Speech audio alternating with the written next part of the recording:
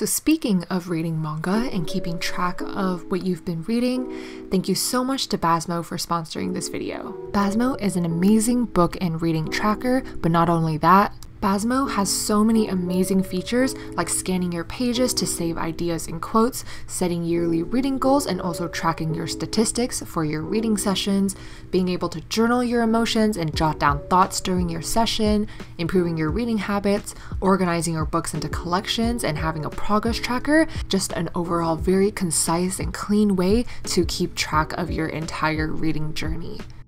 So as you can see here in the beginning, I was prompted with a bunch of different questions to allow Basmo to give me my customized reading plan.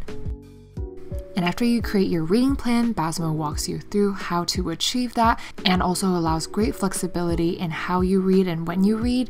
And I had a lot of great fun starting a session when I was reading Blue Flag Volume 7 and jotting down my notes and also scanning some pages that I thought really stood out to me. And I thought that was a very interactive and engaging way to read manga. and this can obviously work for non manga as well, um, but I found that it actually works surprisingly well for manga.